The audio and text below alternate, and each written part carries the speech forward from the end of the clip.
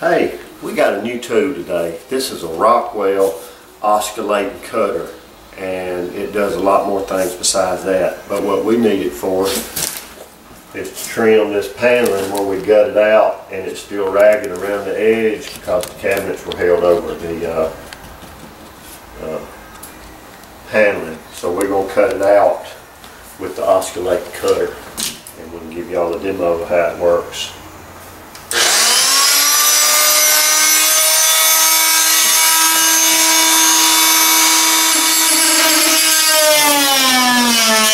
สื่อรา